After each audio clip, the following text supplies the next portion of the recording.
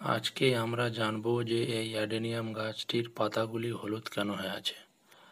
তো আমি প্রথমে বলি যে এই অ্যাডেনিয়াম গাছটিতে আমি নিয়মিত জল দিই, খাবার দিই এবং এর মাটি খুব ভালোভাবে তৈরি করা আছে।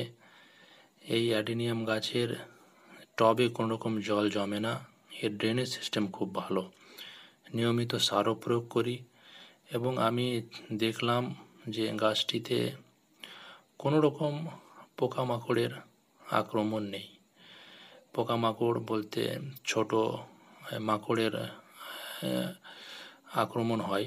সেরকম কোনো পোকামাকড়ের আক্রমণ নেই এবং গাছটির কডেক্স যথেষ্ট শক্ত হয়ে আছে মানে কোনো রকম পচন ধরেনি।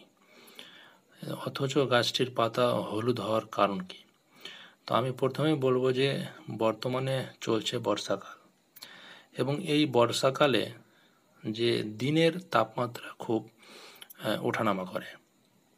যেমন ধরেন দুপুর বারোটার সময় ধরেন তিরিশ থেকে পঁয়ত্রিশ ডিগ্রি সেলসিয়াস তাপমাত্রা থাকে এবং হঠাৎ ধরেন বৃষ্টি হয়ে গেল, আবার তারপরেই তাপমাত্রা হয়ে গেল কুড়ি ডিগ্রি সেলসিয়াস এবং এই তাপমাত্রার তারতম্যর জন্যই অ্যাডেনিয়াম গাছের পাতা হলুদ হয়।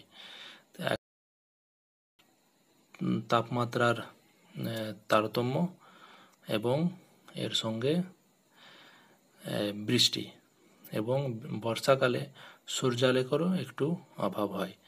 এর জন্য অ্যাডিনিয়াম গাছের পাতা হলুদ হয়ে যায়। তবে এই পরিস্থিতিতে কোনো রকম স্প্রে করা চলবে না।